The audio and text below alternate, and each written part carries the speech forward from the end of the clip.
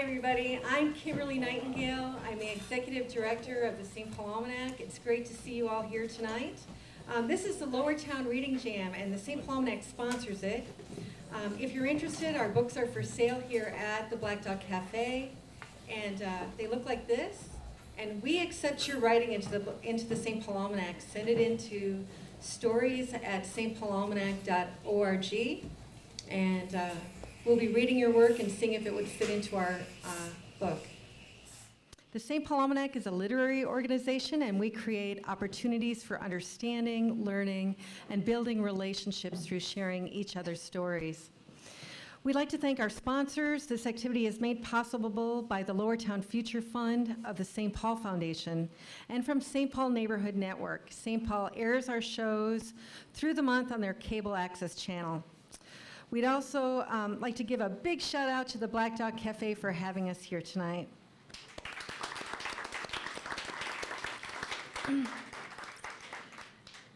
Tonight's show is your introduction to the new Minnesota Youth Poetry Slam team, hosted by the amazing Tish Jones and her arts organization, TruArtSpeaks. Tish is a spoken word artist, writer, educator, organizer, and activist in the Twin Cities. She's worked as a teaching artist with Pillsbury House Theater, Intermedia Arts, Culture Club, and many other arts organizations. She received the Artist of the Year Award by City Pages in 2009 and was Female Spoken Word Artist of the Year in 2009 at the Minnesota Spoken Word Association Urban Griot Awards. Please welcome the beautiful, the extraordinary Tish Jones.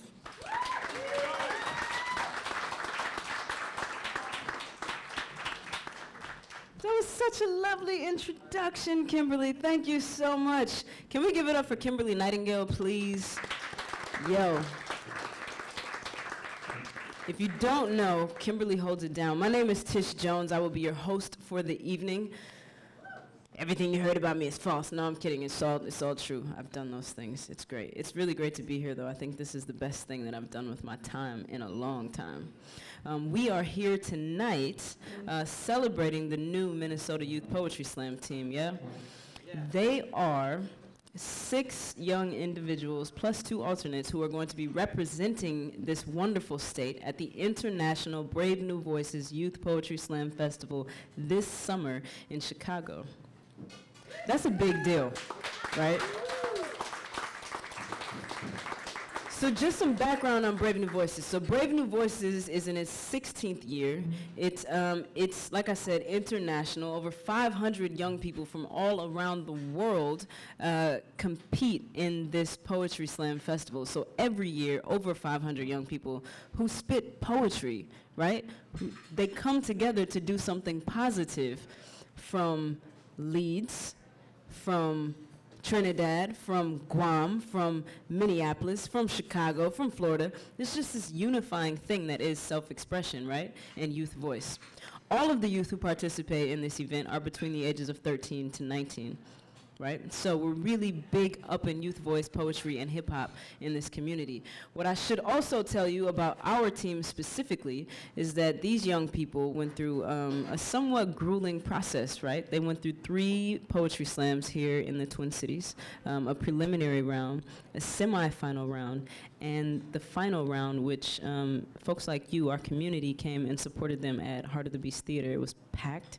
The event was sold out, and we selected these fine young artists. All right, that's all the that's all the funny stuff, right?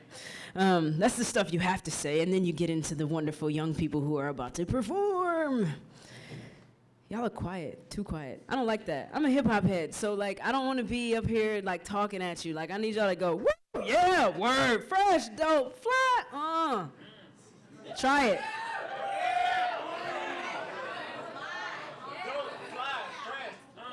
You gotta hit the uh at the end though. Uh, that's okay. Look, all night though, it gotta be like that. It can't be anything other than that. Cause if it's quiet, you know, no. All right. I'm to invite the first poet to the stage, and we're to launch right into it and honor these young people and their voices. Uh, the first poet that we're inviting to the stage, he is an MC. He is a producer, a composer, a musician, a Patrick Henry High School student, a phenomenal talent, and one of the six young people representing Minnesota at BNV. Please give it up for Mika!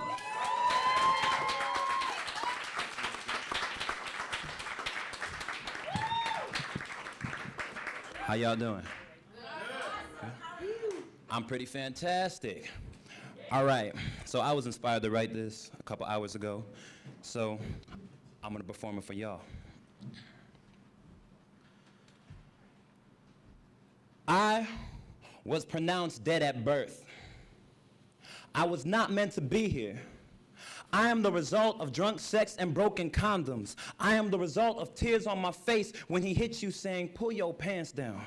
I am the result of real love over fake love. I am the result of a raped victim. But just because I was sown a bad seed, that don't mean I have to grow up to be a bad flower. What normally took 20 minutes was now a couple hours in the shower. And anytime she thinks sex, the taste in her mouth becomes sour. She had it, he wanted it. They were both fighting for the same thing, but that's only because according to the media, what's between her legs is considered power.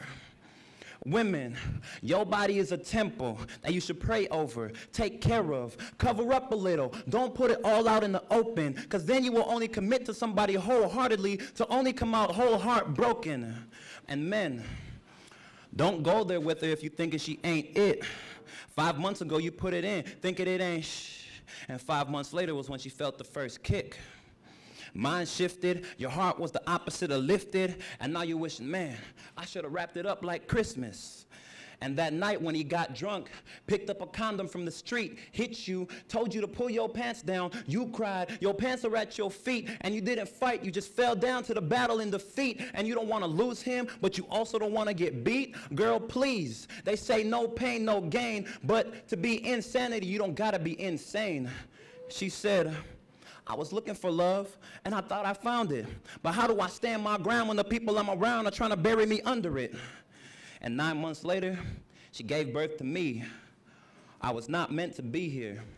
I was pronounced dead at birth. And this poem was the beginning of me living life from a hearse.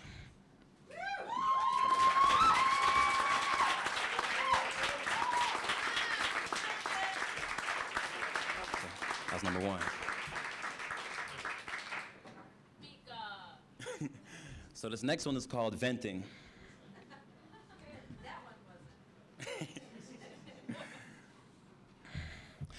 I just need a vent. Because when I told them there's an issue with our youth, they replied, Where's the proof? I said, look at our youth. Everything that they do, they're confused. And you know there's something wrong when you have to question what's true. Day to day, year to year, and night after night, you will fight for whatever without having a clue. But am I the only one that's sick of watching my brothers and sisters die over red, white, or blue? So the question becomes, how many peers of mine have to die until the peers of mine stop killing them? Hopeless doubted, labeled criminals. And the wise encourage us, saying we can live life right. And that's the few of us that try. And like Peter Pan without wings, we can learn how to fly. But that's only if we, as a community, come together in unity and recognize that real eyes realize real lies. And it's hard. Because we live in a day and age where everybody wants to make money like Uncle Sam. Everybody wants to go hard like Sam I am. When instead we should be in church on our knees saying amen. But the issue, we ain't got no support. Nobody believed in us. Who are we supposed to trust? Lust is supposed to be for the trust. Love is supposed to be for us, but the love was gone and we felt wrong. We were supposed to be strong, but we felt weak. And no matter where we went, no matter where we would go, they would say, the color of your skin is black. You're a criminal. I don't want you in my house.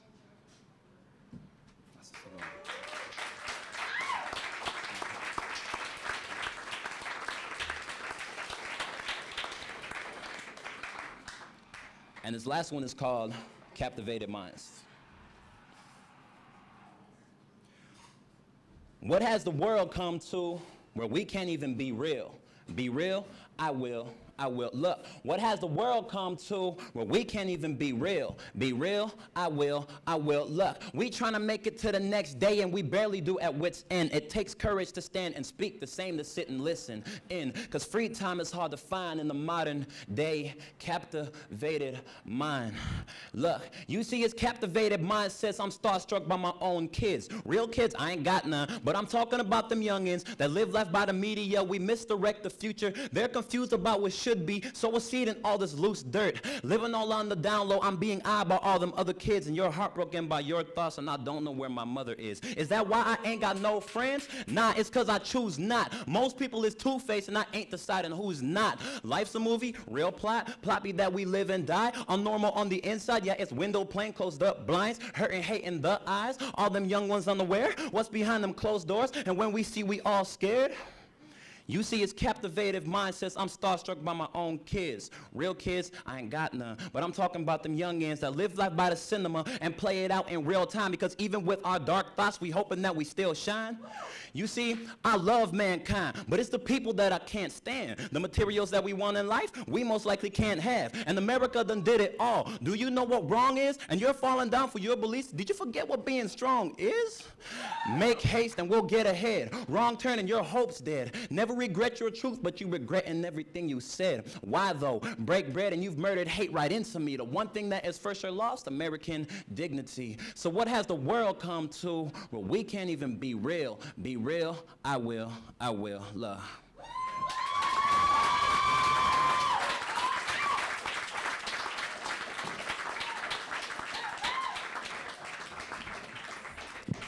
Word, word, that was Mika. Shamelessly plug the spot, man. The Black Dog has some of the most fantastic food and beverage available, so make sure you nourish yourself while you're sitting here. Keeping it moving. The next poet coming to the stage. She is a student at Fair School downtown, a Minneapolis born multidisciplinary artist who specializes in cooking, drawing, and poetry. Please give it up for Rama!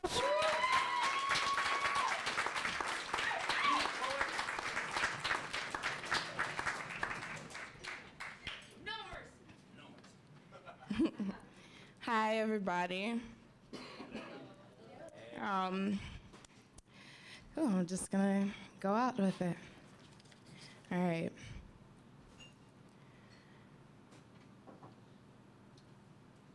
It's crazy how our memories are engraved into our skulls. How our life is a written piece dying to be read on the inside of our head has presented scars. Written in cursive on how he had tied her up. Wrists bound by ropes suffocating her veins. Tape as sticky as can be covered her screams. The gun nudged her head, sending fear down her spine, dispersed hate throughout her body, emotions spilling out her mind, 10 years young. Cartoons and coloring books are the only relation to the real world. Smiles were eternal, and the color of her lips didn't whisper, kiss me.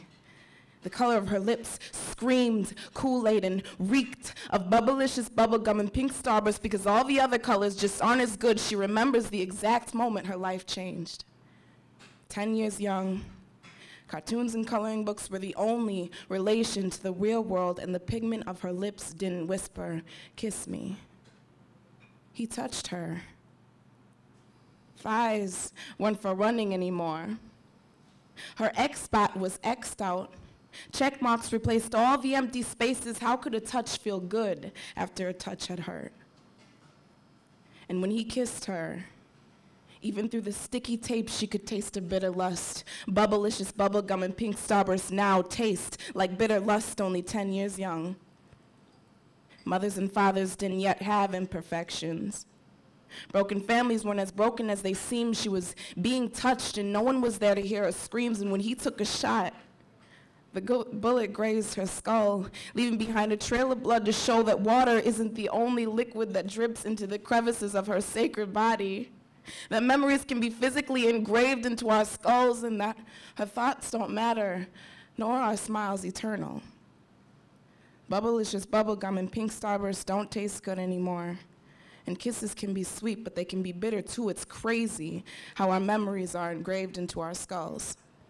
How our life is a written piece dying to be read on the inside of our head it has presented scars, written in cursive on how he had tied me up.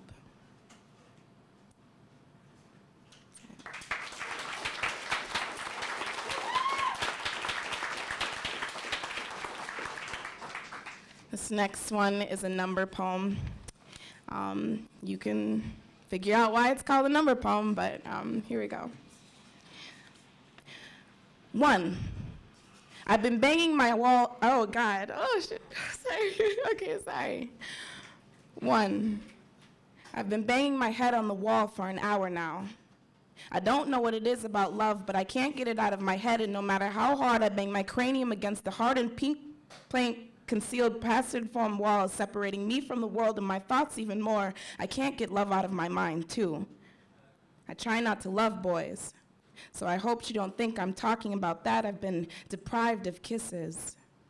But not the ones that tickle my senses and release loads of hormones, the ones that make me feel beautiful. The ones with itchy stubble surrounding, the ones that leave thick red imprints of pores and glossy raincoats on the first day of school. Three, that's right. I don't think I'm beautiful.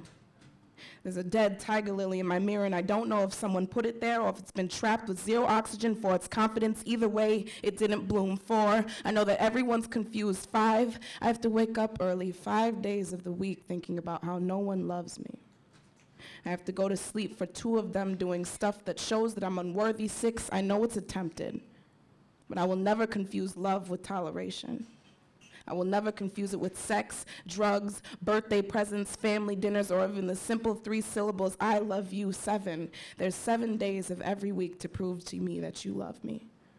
There's 52 weeks in a year and 936 weeks from the day I'm born till I'm 18, then I'm gone eight. I'm confused on where your priorities lie, mom.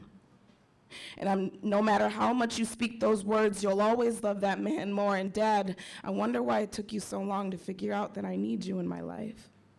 So no matter what epiphany you've had, I've lived most of it thinking that you didn't love me. Nine, I don't think I'm beautiful. And the guy has never talked to me with sincerity in his voice, and I don't know what it is about love. I've heard it a million times. I know it's been attempted. I'm not, and it's not getting through. It's just not getting through. 10. I'm 17, and I sit in my room and write poetry on what I think love is, and what I think it feels like, and how to approach it, and how to treat my body, how I'm going to show it to my niece, and never a poem about how to love myself or how to let my parents love me.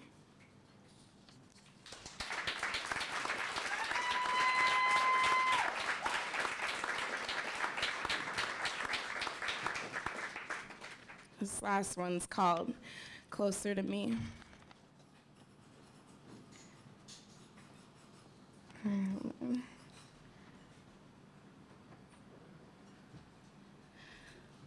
All along I believed I would find you. Time has brought your heart to me. I have loved you for a thousand years. I love you for a thousand more. She can make anything look beautiful. She can hear every sound as if the melody and harmony comes together just right every time. Her words taste like 25 cent sugar candies that you can only find at those out of business candy stores, and her mind jumps hurdles, yet her heartbeat stays steady. You can move her body as if the, she can move her body as if the strings on her wrists are being puppeteered by God. She cares, so she can stop for a second and answer you with a nod, then go back to being played with God, by God. She makes masterpieces like Picasso. You can lose your breath when listening to her poetry, but you wouldn't die. She can make your heart stop in one stanza, leaving your mouth cold and dry. She dances salsa like she's from the streets of Spain, and she could put together your heart after it's been severed by pain. She can make anything beautiful. She sees life as her canvas. She makes pastel colors, her memories, her paintbrushes, her voice. She gives watercolors air to breathe and easel the slant to lean. I have died every day waiting for you. Darling, don't be afraid. I have loved you for a thousand years. I love you for a thousand more.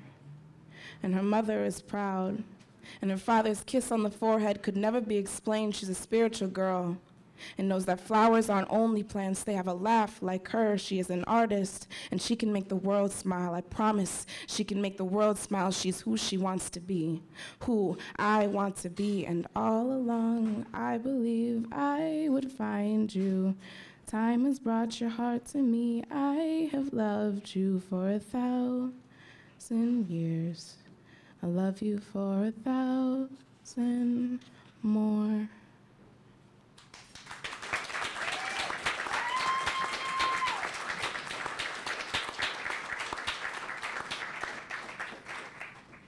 Awesome. How y'all feeling? Uh, remember that? You forgot? That's what's up. Yeah. Grunts always make me feel good. Um, yo, it's been powerful, right? The poetry so far. I feel like these young people are really exploring some um, some deep, heartfelt issues. Yeah? Yes. Yes. Word. I agree. That's what it's about, though, right? Our future lives in their story, so it is important that their stories are heard. Yeah? Yeah. Fresh. Um, let's keep it moving. The next poet that I'm going to invite to the stage is um, one of the two alternates who, um, with your assistance, will more than likely be traveling with the team. So here's how this has worked in the past, right? Minnesota has successfully sent seven teams to Brave New Voices. These teams have traveled to uh, Brave New Voices and been funded entirely based off of community support and donations. Yeah, that's a big deal. It's a big deal. So every table in the room has a sponsorship sheet on that table. Look down, find yours. Yeah, look down, find yours. This is the teacher in me, right? Yeah. So if you have it, the top half lets you know like what your money will be used for. The bottom half of this sheet lets you know um, what the benefits to you, aside from knowing that you've like mega supported these young people, right, and helped them travel and get to the next level of their artistry and just their personal development. There are some benefits listed on this paper, so take a look at that. A little later on, we'll maybe um, pass the hat, but your donations would be much appreciated. Yes? Interactive, not like it's not, there's no wall here. This is like, this is mega interactive. What? Yes. For sure. Everybody got it? You all good? You understand that I'm gonna do this? Yep. I'm gonna make you feel uncomfortable. Yeah. In the most loving and comfortable way possible. That's my job as the host and my calling on this planet. So anyway, the next poet coming to the stage is many things, but above all things, she is human. Please give it up for Shava Gabrielle.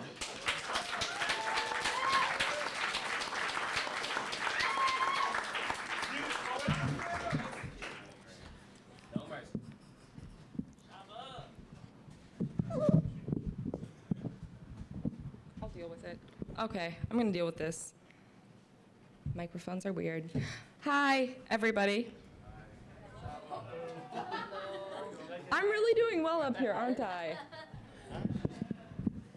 Yeah, thanks. Okay, so as you can tell, I'm really nervous because I haven't done spoken word in like a couple weeks, so this is weird. But this first poem is called Finding God.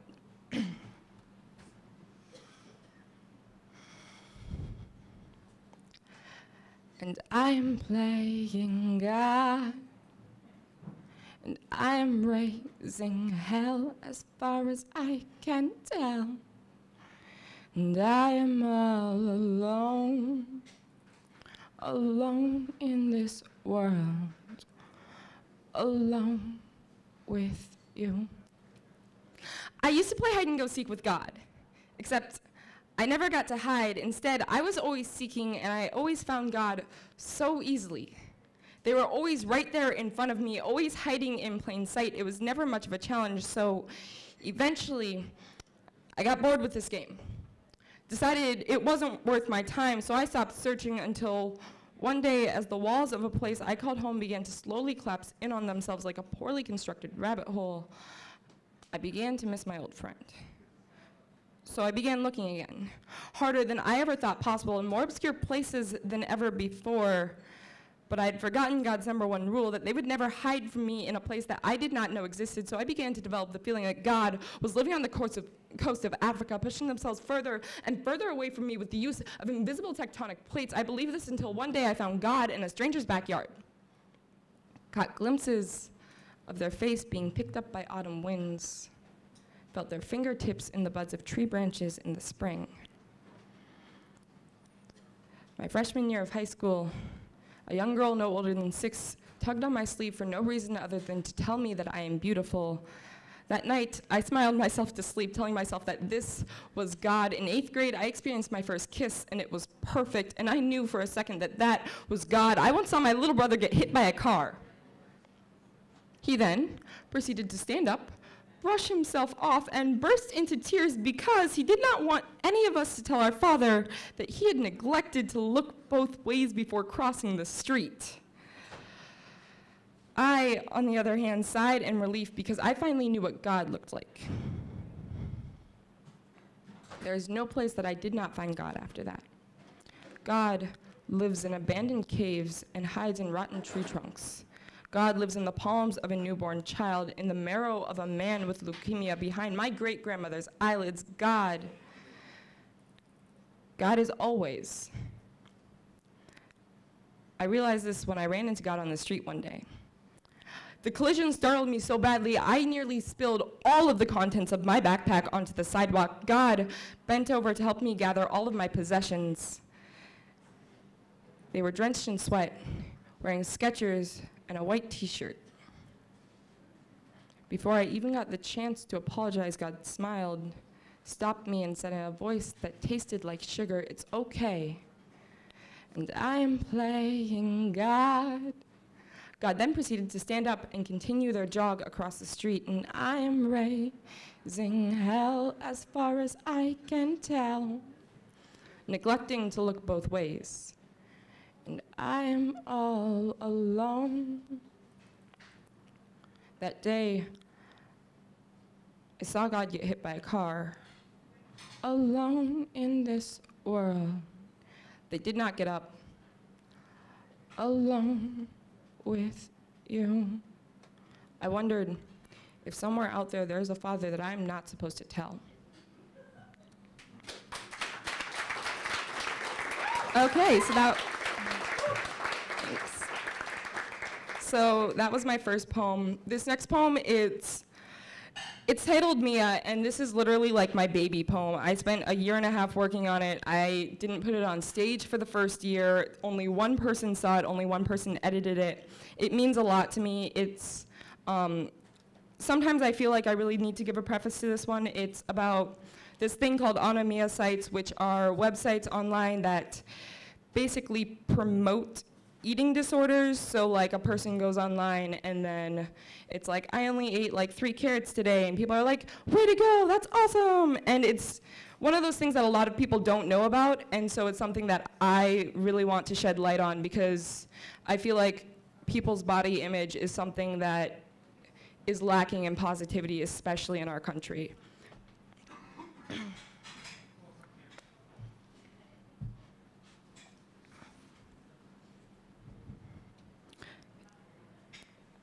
Dear Mia, it's winter.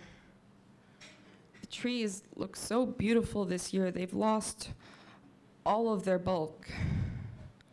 They're so lean. Sometimes I wish I was a tree. Love Gabby. Dear Gabby, you ate lunch with strangers today. How did that make you feel? How long did it take for you to realize that they were watching you? How many bites did it take for you to feel full? How did it feel to be a pig? Love Mia. P.S. Trees are huge. Don't be a tree. Dear Mia, I know. I felt horrible. Actually, no, I felt worse than that. I felt translucent. I knew they were watching me. The moment that waitress set that plate down in front of me, two bites in, and I knew I was going to burst. I wanted to go hide in the darkest corners of myself until I knew it was over. Love, Gabby. Dear Gabby, stop feeling sorry for yourself. You are not worth it. Instead, just punish yourself. Stop glancing in the mirror. Instead, stare into it, naked. Any space on your body that you do not see bone is fat, but still. Reflections lie. So use numbers. If you don't know how to do this, let me help you get started. You are 5 feet 6 inches. You currently weigh, mm, give or take 135 pounds. Muscle does not exist, which means that you are at least 20 pounds away from being beautiful, at least. Gabby, it is a long process, but there are three things you need to start out with. One, run. Do not stop. When your body feels like it's about to collapse in on itself, keep running. This is how you will know you are getting stronger. Two, never, under any circumstances, ever eat alone. Other people become your gauge for self-control. And three, punish yourself. Gabby, this is the most important part next to keeping everything a secret. Remember, beauty is pain. Love Mia. Dear Mia, I think my parents know something. They've had me sit down with them to eat dinner every day this week. I've gained three pounds. They seem worried. I don't see why. I'm almost pretty. I can't stop now. Love, Gabby. Dear Gabby, be more careful. Carry granola bars and water with you everywhere. This will keep you safe. Wake up early, make breakfast, flush it down the toilet, leave the dirty dishes in the sink. Get them off your scent. Gabby, what you're doing isn't wrong. Everyone wants to be beautiful. You are just the only one striving to make a difference. Love, Mia, dear Mia. I don't know if I want to do this anymore. I, I'm so dizzy, and all I can think about is how hungry I am, and people are starting to talk, and I just, I, I, I don't know if it's worth it anymore. Dear Gabby, do not question me. It is worth it to be beautiful. Do not contact me anymore unless you are willing to listen. Love, Mia. P.S. Drink lots of water. It helps. Dear Mia, it's been two months. My body feels like a late autumn forest. Everything is dying, rotting from the inside out. Am I good enough yet? Dear Mia, dear Gabby, you will never be good enough. Remember, keep punishing yourself, dear Mia. There's an uninhabited cave resting in my core. It is endless. I am so hungry. Dear Gabby, this is good. Remember, beauty is pain, dear Mia. I walked past a mirror this morning. I did not recognize myself. Am I beautiful yet? Love Gabby. Thank you.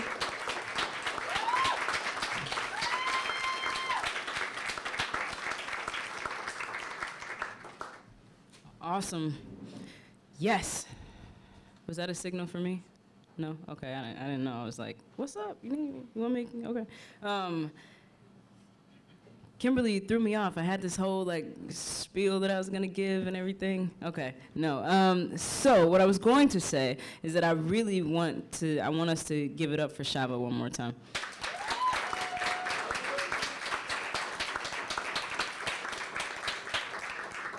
I appreciate Shava um, for addressing um, contemporary issues that conflict young people, right?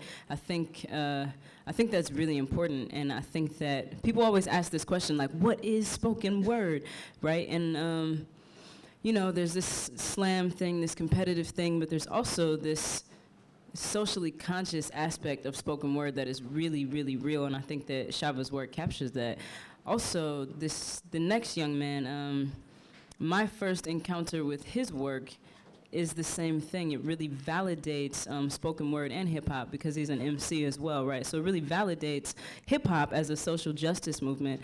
Um, and culture, and also uh, the validity of spoken word and hip hop in the ways that they address our issues or issues in the community, right? So, uh, the next poet is, um, as I said, an MC, a super talent.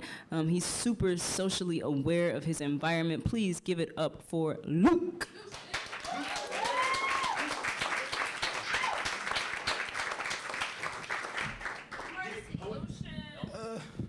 So, if uh, y'all enjoying yourselves, can I get some woo? Yeah, can I get some? Cause y'all kind of dead with the snaps, and we need to pick that up. So, um, all right, uh, this first poem is called Museum, and um, if you guys hear anything you like, back to the snaps. Um, all right, here we go. He was a portrait of silicon implanted into the enchanted minds of young people. Prepped and groomed and airbrushed, left on exhibit and we watched. We were just deer in the forest we call life, feeding off our mother. It's just human nature to be so ignorant to such artwork. The hair strands were drops of gray paint showing his knowledge of just how black and white the world is. It was all black and white in his cranium. Wired into the system, his braces were titanium strands, linking him to the hands of mothers losing their children to titanium bullets. They shot down dreams. They raped queens. They shot teens in New York, Queens, leaving Levi-stained jeans. If I leave, I will succeed. Let me run. The framework was a stain work of nails that bled finger into mahogany. When these slashes bled the flesh of mahogany and slick hair grease that was slicked back so far, any idea that slipped from another's mouth slid off his head and was never heard of again. Prejudiced like many in Congress. Aren't we all governors of broken promises? Aren't we all paintings hung out to be watched and tampered with, to be judged, to be struck over the head with mallets the size of sledgehammers? Aren't we all meant to plead innocence? Knowing in our minds we are guilty, guilty of letting tourists tell us just how special we are. We are special. We are worth much more than you at auction. We are just for sale, like boats that have no anchor. In a never-ending race against violence and horror, we never know when to stop. There has never been a bid at just the right price. I wish someone was willing to purchase us.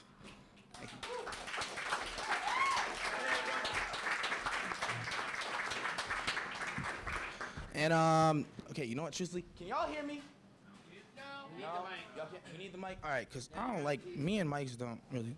Um, this next piece is called On the Can, and it sounds really weird, but you guys will get the gist of it um, as I go on. So, we are all just Nike socks, Nike shoes, Nike bags, Nike boots, Nike hats. Nike tell the truth, you try to label me. Aren't I supposed to be what the rest of the world thinks of me? We are rusty nails that never seem to fit in right. We have drill bits attached to our brains, pounding in our insecurities, stomachs full of, I wish dad paid more attention. And blunts rolled up like, mommy never approved of my dreams. Please, mommy don't take the paintbrush away from me. We are stoners. We are buried nooses going back in reverse because every stereotype hung around our skin color is never erased from the canvas. We are granddaddy's shirt he wore in high school and cheap woven chucks and nylon boots with made in China sketched into the bottom. We are bet your bottom dollar the sun doesn't exist type realists. We are an era of rap lyrics dumbed down so the remaining brain cells we have can comprehend them. We are Nike socks, Nike shoes, Nike bags, Nike boots, Nike hats, Nike tell the truth, you try to label me. Aren't I supposed to be what the rest of the world thinks of me? We are the era of black ink on white pages, of black ink on white and black faces, of tattoos of every homie dead, tattoos in cursive across my chest. It's funny, the other day I asked my father if I could get one the era of ask your parents at 15 if you can get one. For some reason, we like the idea of needles piercing our flesh. Maybe it's a way to feel something resembling death of the ancestors who had whip slashes piercing their backs. Man, I don't know. Man, my stomach folds every time I write a slave, slave poem. It's weird. I always write in blood red pen. It's weird. I always curse when I'm with my friends, but never the same person when I'm not with them. We are Tattoos, poetry, partiers, ADD. Hey Nike, I will never let you label me. Again, the shoe has come off. I'm here. I am every thought had, the abandoned child has. I am every camo short wearing kid. I am the 21st century. Kanye wrote a song for me. Listen to our speakers turned up just enough so God can see how much we love to live. I am fall in love with the 5'3 girl over and over again because I'm free enough to feel that I can. The fall in love over and over again because I can. The say I love you slowly on the phone because my tongue is so familiar with the word awkward. The text you while I'm sitting right next to you because I think it's cute. The tell you you're beautiful every night before you go to sleep. The kiss you really soft because I can never stand the thought of hurting you. The get irritated when I don't text you in the morning. I'm the generation of write a poem and when I get to the love part, make it really long because I can't get everything I feel across in words. I should tell you, I'm writing this poem at 2 a.m. in the morning My father doesn't know I am, but who cares? I'm the stay up late generation because we think we slicker than we are, and I am much more than a swoosh and a pair of laces. I am spoken word, K. Dot, J. Cole, Alicia Keys, Brooke Young, Rudy F, Tish Jones, Joey B, Black Prez, Princeton, rapper, BNV. Nike, go ahead, do it again. Try to label me.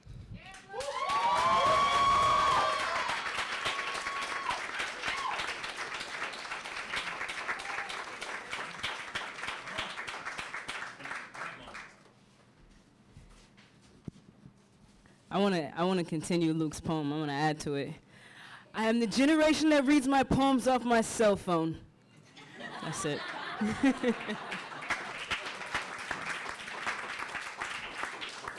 That's so new school, son. That's cool. Um, Word. So the next poet that I'm inviting to the stage, I'm going off script for this one because I kind of, I'm just really happy to have this poet. I'm happy to have all the poets on the team, but this uh, this particular poet brings a really calm and centered energy to the group, and I really, really, really appreciate that. Um, she has been writing for four years. She is a lover of words. Um, she loves words we all love words, right? We're in this room for words. But she really loves words. But more than that, she loves to move people. A poet and a singer. Please give it up for Larissa.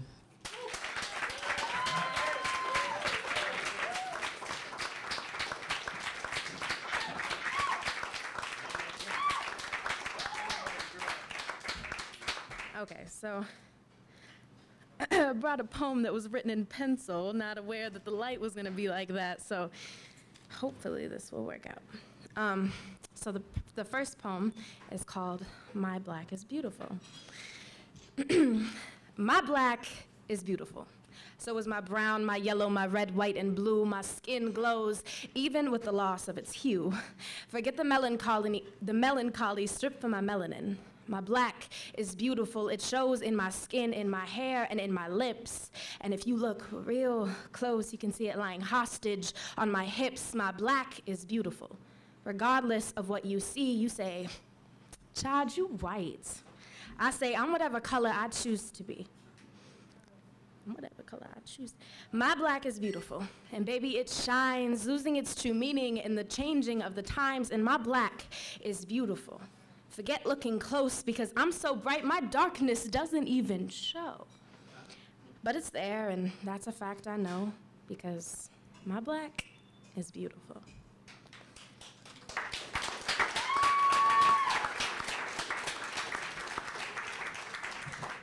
Okay, these little, these little loose, these little loose leaf papers are not, not fun. Okay. she writes me poetry scatters her admiration page after page. All I ever really wanted was to save her. But all she ever really needed was someone to love her, and at night, you can catch glimpses of her wandering eyes in search of her knight in shimmering armor. She dances on light feet, losing herself in the search for dukes and princesses. She, princes, she's the most beautiful thing I've ever known and to be privileged enough to lie. Squinted golden eyes on such treasure is a pleasure very few will ever know. She's an undiscovered soul with greater intentions and inner conflicts than anyone could ever pretend to comprehend. She's a glittering gem. Lost amongst the rocks, and her tears gather in pools around her ankles. She makes the entrance of a room glow with delightful smiles, but her cuts are just as deep as mine and she contemplates skydiving with no parachute. Once in a while, I catch her slipping, rambling about the end just a little too long and thoughtful. She wants to leave with a bang, but is afraid to be forgotten, so she carves her name in cement. Between the, the major arteries in my skin, she's unforgettable.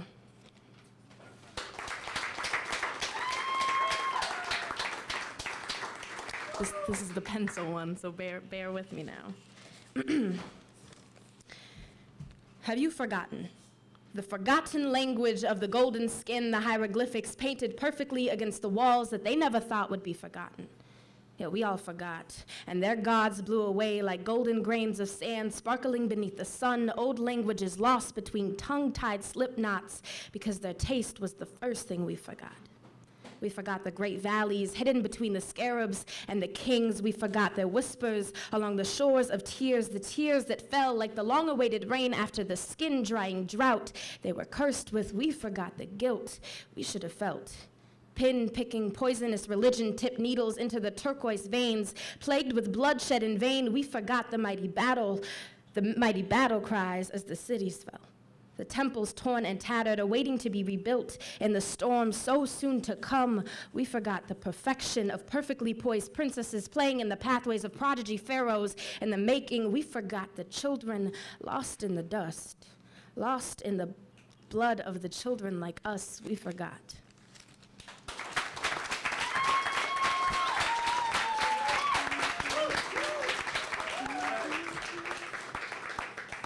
Fresh. Hey, make some noise if you want to know where you can connect with these young people, maybe see them again, hear their work. Y'all interested in that?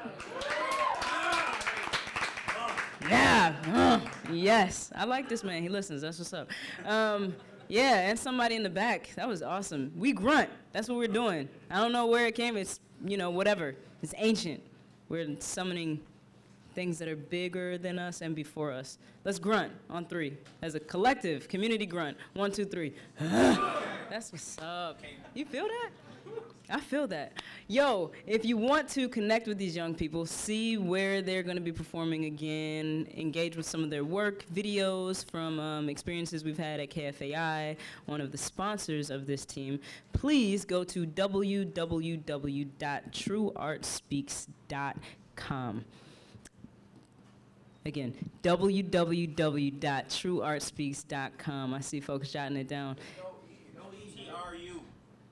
Look at them. Community, right? T R U. No E in true. They're holding it down right now. T R U A R T S P E A K S dot com. Word. Thank you. Thank you.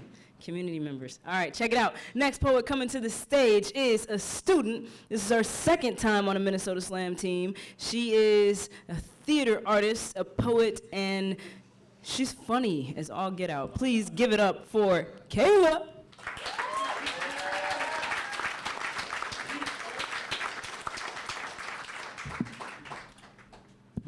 Hello.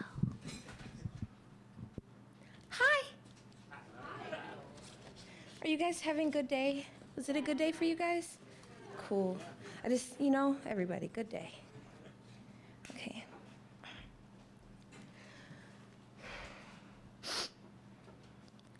He said, I started using coke because the high feels feels better and, and and when I slam I feel like I'm performing for God. He started shaking. Kayla, the emotion just seeps through my body. It bulldozes over me. So you know to keep my balance, I stand on my tippy toes. And and and, and when I write my, my, my pen links to my mind and grows rockets or something. I just can't stop. I I I wish you could feel what I feel, Kayla. I only stared at him for a split second before my head hung down to my ankles. Kayla. Don't be disappointed, he whispered. I turned my head counterclockwise and daggers spit from my eyes. I stared at this transparent being, the remains of what used to be my inspiration. Don't look at me like that, Kayla. Kayla. What makes you think you're better than me? You think you're better than me, don't you? Yeah, yeah, I know you do. I know you think you're better than me. He started shaking again. Your body doesn't agree with you. It's trying to get the devastation out like shaking as violently as epilepsy will cure you. You stutter when you speak because your tongue can't understand the dialect your mind is speaking. When you're sober, you can think clearly. Where does your sobriety hide when you fill your mind with baking soda? I can see your thoughts foaming out of your mouth, but they're not speaking English, and I don't have my translator handy. I don't speak addict. Rob, what's wrong?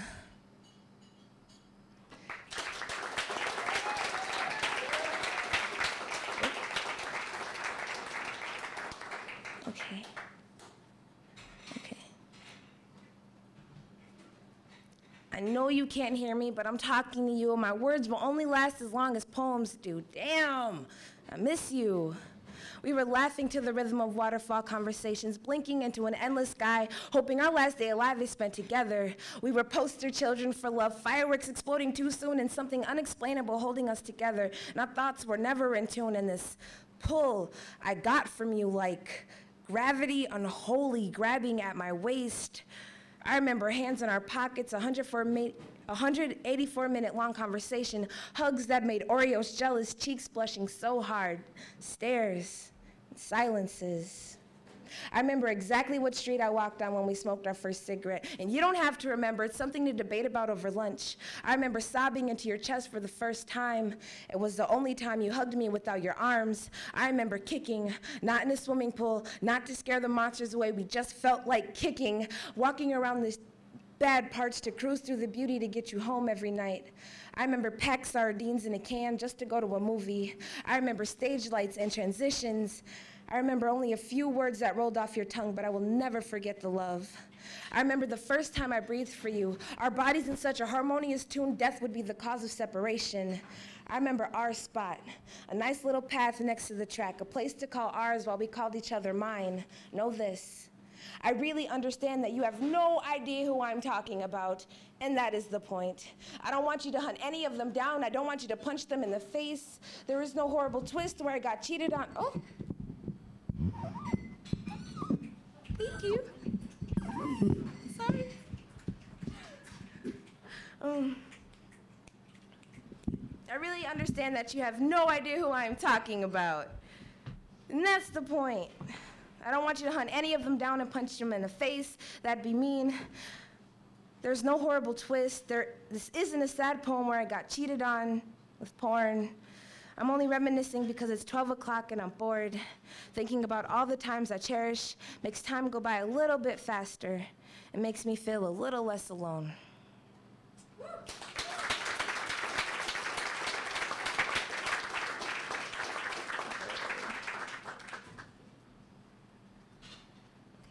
So this next poem I'm about to read is going to be the first time I actually read it with emotion and intent and like, so like, you know, just. I knew knowledge very well. Knowledge is my dad's brother. Knowledge is my uncle. Knowledge was the name he was known as. I remember the last time I talked to him, I said, You need to forgive yourself, find redemption, and repent. Me and Knowledge have a lot in common. He used to tell me the voices in his head were clawing through his synapses and pulling the essence of him out. He wasn't thinking for himself anymore. What was that? It was nothing. You didn't hear anything. The voices used to speak for you. I didn't hear anything. You told me the voices in your head weren't your own. You told me the unforgivable thing that made you do crawled like spiders. It's just your leg hair. Did you think bringing a bottle to your lips would drown them out? Did you believe your family didn't love you? I love you. Were egos too big for one house haunting? Was it hard to believe in yourself? I believe in you. Did the line between nonfiction and fiction blur so well together that it was normal to see purple bunnies without dementia? Do you see that car parked in the sidewalk knowledge? Walk in the street, it's safer. I never believed the voices would control you. I didn't think. Was the train imaginary when it started pulling towards you? Was it your midnight train to Georgia? Were you getting ready with the people? You don't need no baggage, you just thank the Lord. Did you feel the rail get hot? Did it sear your flesh a little bit? Could you not hear the train groaning towards you? Did you wake up when the first wheel broke your arm? Were you conscious when the train severed your head from the body? Were your parts scattered between pit and arcade? I live right up the hill from that train. I walk over the bridge, emotion building in my throat, air leaving my lungs like I just ran through purgatory. I know it's been five years, but it still hurts just like knowing it'll happen tomorrow. I always close my eyes when I reach the track because I don't want to see anything the police forgot. Was this for everlasting silence what you craved, knowledge?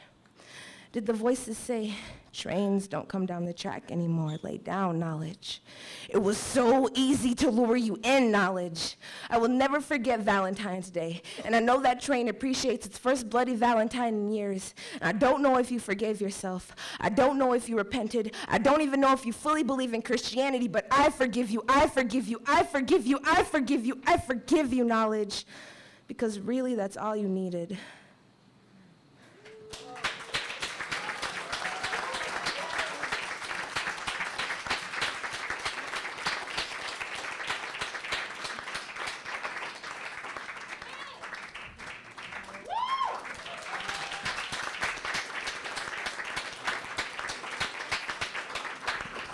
Awesome, awesome. How y'all feeling?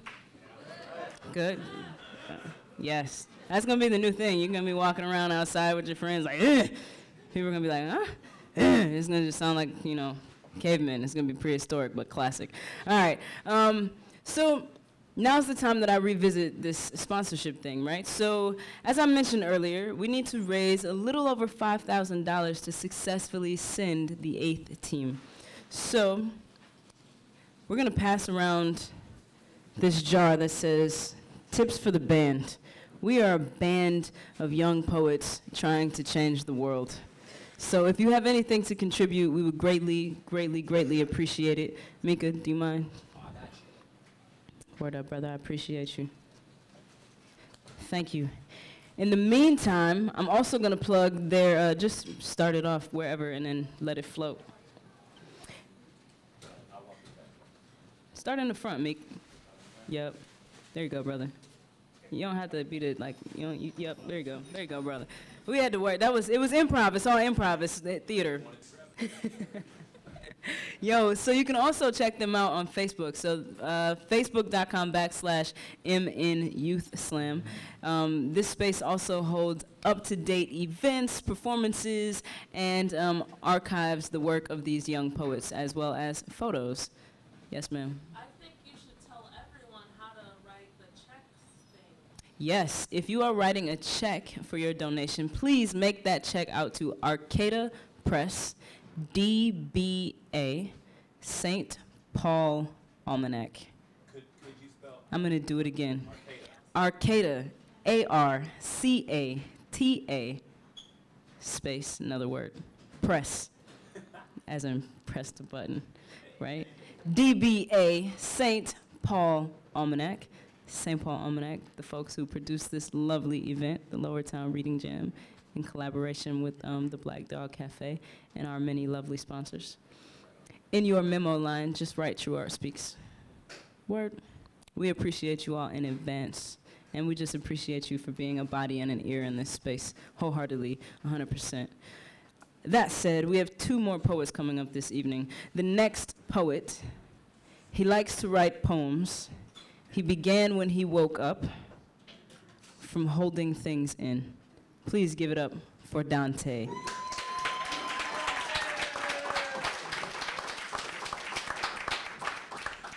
Hey, I'm Dante. Um, I'm so happy to be here. This is so fun. Uh, the energy is like, yeah. This microphone is like not working. It's like tapes. Perfect. Um, this poem is called Old Rondo, and it's uh, it's a dedication to my old neighborhood in St. Paul. Yeah.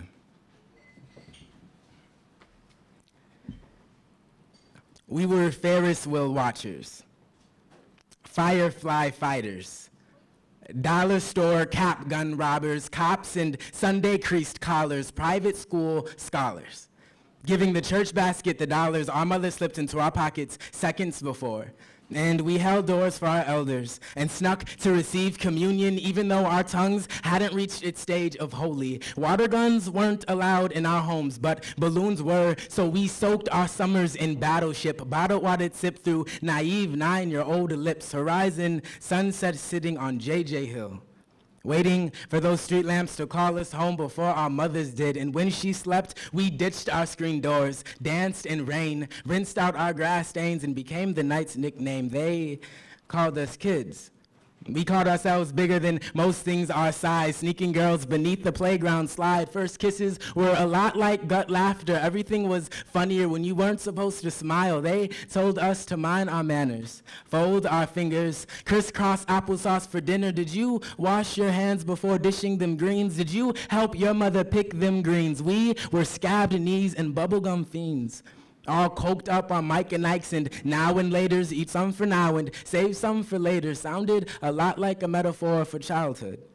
For the way we grew up through adversity and anniversaries of street signs and jazz parades, I guess, before they built that freeway, there was a colony of houses lined up like heritage on an auction block about to meet their God. The largest black community in St. Paul was cut down like it hadn't deserved the land it slept on for so long, like it hadn't raised its children under corner store stories, front porches, and grandma's front lawn. I bet if they knew we hid beneath the bridges they built, they would tear those down too. They would tell us kids to grow up like high rises through minority roofs. We were minorities proof that if you raise your fireflies in the heart of the dark, they will earn their lights in the form of a spark in the form of a million matches attempting to set flame the desert until every grain is a diamond worth giving a name. So they called us kids. We called ourselves the reason this neighborhood lives, the reason you can clear your throat and conscious and enjoy the right to breathe. Our pigment permanent in cement silhouette, so our street lamps never have to leave. We were our front door keys, our tattered shoes and collard greens, our mothers awoke us at dawn, told to walk down the block to Golden Thyme, given enough money for a coffee and a Krispy Kreme. And if I remembered to bring four creams, four sugars, a stir, she would always blow me a wink, one that meant the top of the world, or at least the Ferris wheel peak. Thank you.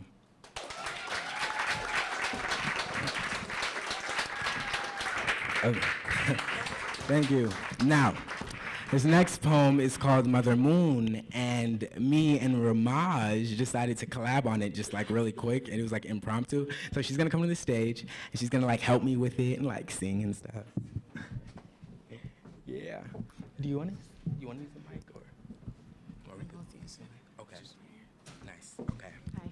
Hi. Hi. Okay.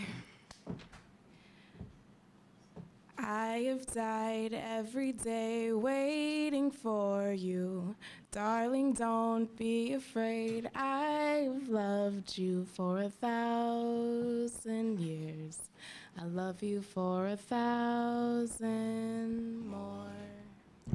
Mother Moon she is, fingernail clipped, draped from the tip of God's graceful hands hanging loudly on that silent night she is.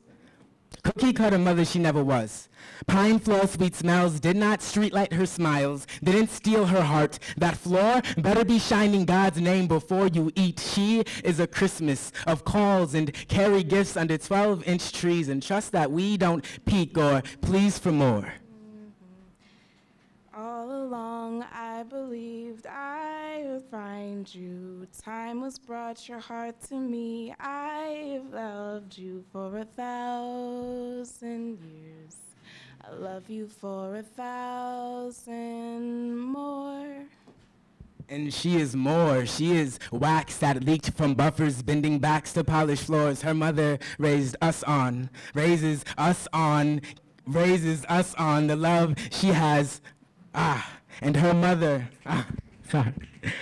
And she is more. She is wax that leaked from buffers, bending backs to polished floors. Her mother raised her on, raises us on, raises us on. The love she has left, she is cut from her family portrait, pennied into ashtrays. Long before me, she was girl. Before mother, she was girl. Before divorce, she was girl. Dressed in dreams, dressed in the night that seemed so close to her, she was me. Raised with nine brothers and sisters, in a home too small to smile in, in a home too big to try to keep silence in, with a mother trying her best to love all nine at once, she was a girl, dressed in dreams. And I've died every day waiting for you. Darling, don't be afraid. I have loved you for a thousand years. I love you for a thousand more. As innocent as the communion that melted on her tongue, she was raised with pots and pans, hairpins, hot combs, and gardened hands as black as the skin of her Bible. Her mother, her Bible, her brothers now rivals, her sisters now silence. She sits in a home of bricks and bottled love ready to explode as light. She is building after burn. She is a wintered road of silk children that has no stretch marks to claim our name. She is our name, snatched from mouths not fit to speak. Its grace, its glory gave us the glory she graved to have. She is my mother. She is metal kitchen tables, missing lights from ceiling fans. Slow cooked greens give those bricks their smell on Sunday. Junes they seep from wounds. They bleed from a womb. She is her mother's cane Her mother kissed God on the cheek before entering his gates. I know how I know the way my mother's lips formed a kiss to forgive her pain the night she grew her wings. Found her halo tangled in hairs of gray and gave her love to my mother to pour onto us. She is us, she is trying, I know. And all along I believed I would find you. Time had brought your heart to me. I have loved you for a thousand years. I love you for a thousand more. By the way she locks the doors, mops the floors and keeps her kisses for special occasions like Christmas, that baked a generation of homemade hugs I can teach your heart to fall in love. She is love. Think words like life, like light, but dim, not dark, like moon, like mother, mother moon she is. Fingernail clipped, draped from the tip of God's graceful hands hanging loudly on that silent night she is. And I have died every day waiting for you. Darling, don't be afraid. I have loved you for a thousand years. I love you for a thousand more. And all along I believed I would find you. Time has brought your heart to me. I have loved you for a thousand years. I love you for a thousand more.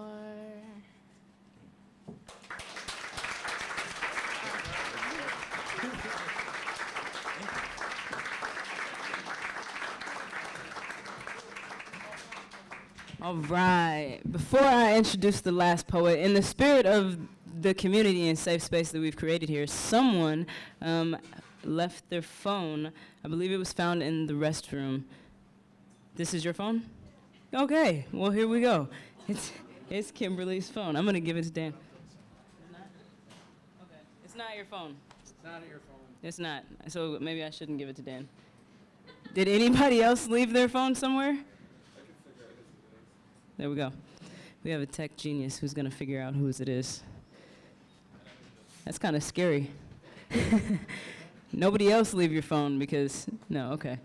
I'm the comic relief for the evening. Uh, the other thing that I want to say in the spirit of community is that we raised over $400 in this space for these young people.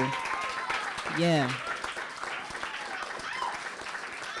Yeah, that's phenomenal. That's phenomenal. Grunt for that. Yeah, you can grunt for that. Yeah, we don't need permission to grunt for that. Grunt, grunt your life away, yo. Yes. Um, that's a beautiful thing. It really is because it, it guarantees that two poets are actually going to get there and back, right? It covers the airfare for two young people, round trip. That's a beautiful thing. Um, the other thing that I should say is if you're interested in um, continuing to follow and make donations, you can also do that on the website, www.truartspeaks.com. No E in true. Finally, here we are, closing the evening, our final poet. I'm so glad that this sister is in the building. She is our second team alternate, but she is she is a student of life. It's really it's really awesome to see a young person who's so inquisitive and always just interested in self-discovery and her own growth. Um, I'm really glad to be in relationship with this sister, and I'm also really glad that she is in relationship with the other young people on the team. Um, she's a wonderful role model, and her words say that she uses poetry to heal herself and others, and that's true. So please give it up for Fatima.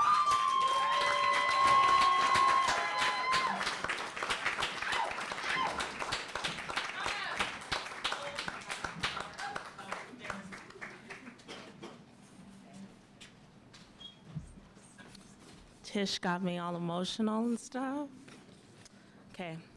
Um, so this is called 12 Months Defined.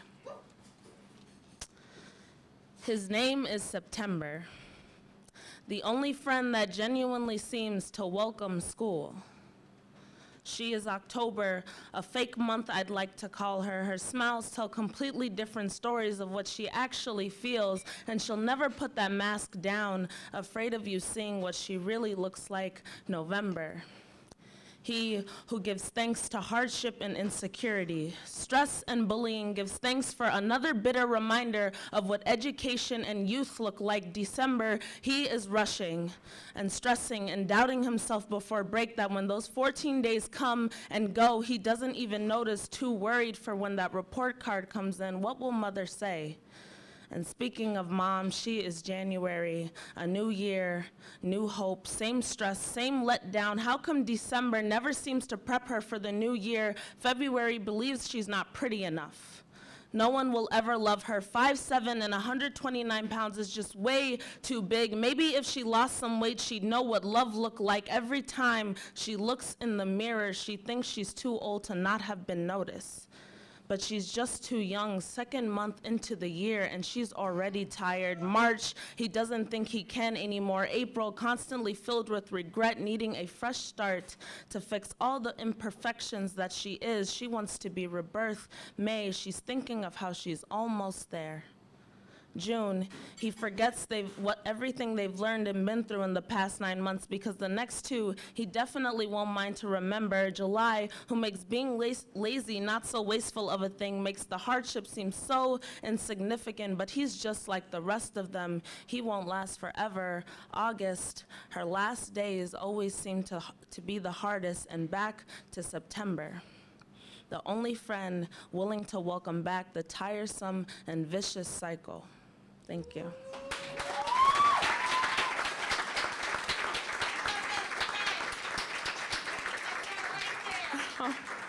so um, this next one is about an experience I had with uh, three of my other friends. I haven't practiced in a while, so I might stumble, but yeah. It's called Go Home Tom. Hate is a strong word that I try my best to never use, so believe me when I say I hate putting people down. I hate having someone feel insecure about who they are. I hate black on black hate. Two weeks ago, at the most, I'm walking uptown with three of my friends, two boys, one girl. I have no idea what was said to make one of them start rapping, but nevertheless he did, and he did out, out, loud. Looking up, me and the other girl noticed a man of color giving us a ridiculously disappointed look, so we ask our friend to stop, and he does. Long story short, we pass the man of color, and he says to us with so much hate in his voice, with so much hate in his voice, you're embarrassing, you need to respect your race. So obviously, we stop in our footsteps. Vulgar and angry words are thrown back and forth. A fight almost ensues, and we move on with the rest of our day, but so does that man. That man who doesn't know that one of the boys with me is a kid from Somalia, escaped war, lost some of his family, but is thankful every single day for being in America, for being able to have some type of education, to have a future to look forward to. He doesn't know the boy rapping out loud was on his way to a spoken word competition filled with young minds and eager hearts that he was somehow going to inspire someone with his words. He doesn't know that the girl with me hasn't graduated yet still in high school, takes college classes because she can't help but better her mind in some way, shape, or form. I mean, she's going places. He doesn't know that his comment cut so deep. I had to write a poem about him to let everyone know, if they didn't already, that that kind of ignorance exists somewhere out there. It's sad more than anything that in that one sentence, he insulted everything we all stood for. In that one sentence, he degraded everything he doesn't know we represent. In that one sentence, he showed there was some kind of difference inside of our black community. In that one sentence, he tried to make us think that we didn't know who we are and the history that we came from. And it, honestly, what bothers me the most is that I've learned from this. While he walked away carrying that same ignorance I hate to see in another human being. Thank you have time for one more? Okay, last one, and it's called This One Girl. Excuse me. Revealing is how I describe the way she dresses. She wants everyone to know she's an open option, loose is just my nice way of saying she's easy, selfish because she doesn't love herself the way she should, an idiot who often gets drunk thinking alcohol is the answer when it only leaves the question of how do I get help? This girl Therapist and weed couldn't help solve her problem because no matter how high she got, at some point she'd have to come down. And no matter how much she talked, talked it out, the problem never changed. She was always thankful though. Weed was something she could never get addicted to. I mean, she craved something more. She didn't shoot it up, snort it, light it, and inhale, but it's something she was addicted to, and it was attention, attention, all eyes on her, all thoughts on her, ignoring everything around her but her. This was stimulating, making her feel alive, selling more of herself than she could stock, something the leaf could never do, make her feel like she was worth something. So when that boy came around, making her lungs pump for air as if every molecule around was slowly disappearing, she held on for dear life. And this boy, he saw opportunity. He was able to make her lips close when he wasn't in the mood to tolerate her, but as soon as time came for her to please him, he made sure that her lips stretched to accommodate his size. I mean, that's all she's really good for. They complimented each other in the worst way, advocates of disrespect and low self esteem. It's obvious not all negatives repel as long as he hit her up a couple times a day fed her loveless words, and instead of filling the void within her heart but the void between her thighs, she was good. Using him just as much as he was using her. Call it drug abuse. He was her fist, his ooh, fix. His attention but lack of interest, so contradictive, but so contradictive was so much better than facing her past head on, so she accepts that kind of bull. Looking forward to know nothing guys and looks of disappointment, looking forward to a future, looking forward to someone, anyone, as long as there was something to look forward to, she'd take attention anywhere she could get it. I just wish I could let her know she's going to make better mistakes tomorrow so it's okay because it's improvement on her past. Unfortunately, I can't make her love herself the way she should. Thank you.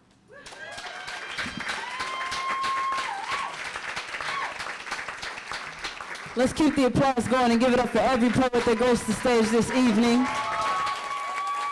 Let's holler even louder. Give it up for yourselves for coming out this evening. It's hump day. All right, this is the end of the show. I want to um, ask you to clap again. We got to give it up for the St. Paul Almanac and the Black Dog Cafe for creating this space. SPNN, we're thankful to you as well. Everybody, get home safe. I think that spring is coming, so, you know, enjoy it, right? Peace and be well.